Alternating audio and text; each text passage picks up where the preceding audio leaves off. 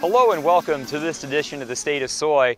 I'm Aaron Putze with the Iowa Soybean Association. We are in Waukee and we are visiting with Chad and Bret Bourquin. They are the founding members of the band Big Time Grain Company. And guys, first of all, welcome to Waukee. And also, we announced something pretty awesome this spring. Your tour, your performances, powered by biodiesel, partnership with Iowa Soybean Association. Tell us a little bit about that partnership and why it's important to you. Well, first of all, we don't partner with anybody that we don't have similar beliefs and similar uh, passions. And uh, so the relationship means everything to us. We uh, love what you stand for. We love the new vision, the new pioneering that's going on with what you're doing.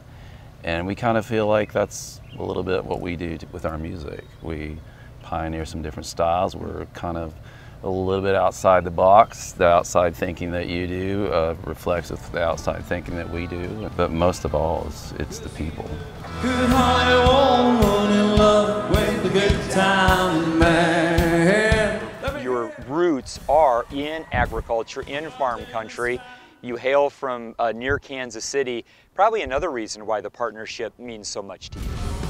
Yeah, for sure. So we, we both grew up on a farm in Colby, Kansas, uh, and it was wheat, soybeans, pinto beans, and I mean, we, we grew up uh, walking rows with our dad, you know, and uh, hoeing weeds. So we definitely were in it.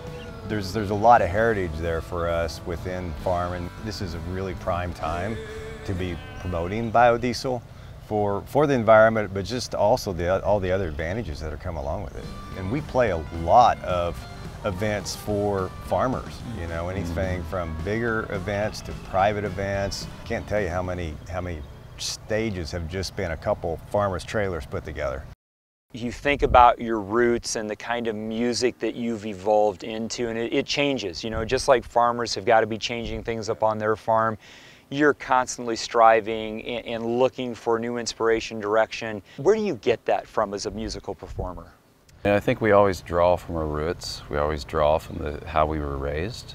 I feel like the landscape now in music has opened up a bit. You're not required to go through some of the gatekeepers that you used to have to go through for your music to be heard. So people are allowed to get access to all different kinds of music and all different kinds of ideas that they may have like not grown up with. So it's, it's an exciting time for independent musicians. You're at Waukee Palooza today, which is uh, an event that's uh, sponsored by the Waukee Rotary.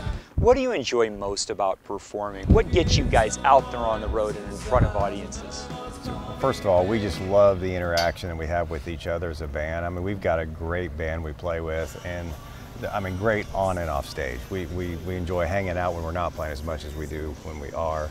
But then just when that, when that translates to the audience and they have fun with us, then it's, it's everything's working. Everything's clicking at that point, and that's what we look for for every time to, to, to just allow that to happen.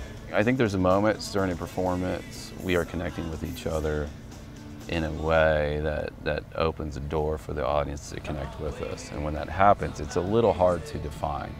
It's kind of a beautiful thing and it allows the music to be the music and, and just almost like play itself. If we can get to that point and enjoy that moment with our audience, and that's, that's everything. Well, the Iowa Soybean Association is proud to partner with Chad and Bret and Big Time Grain Company. Be sure to check them out online. They've got some great video tour stops where they'll be performing across the Midwest.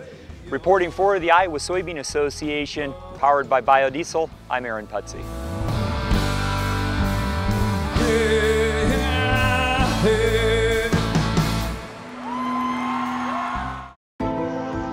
Progress is a human invention.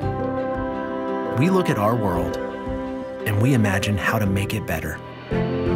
That's the power of human ingenuity. We can redefine what's possible. At Bayer, we're shaping the future of agriculture.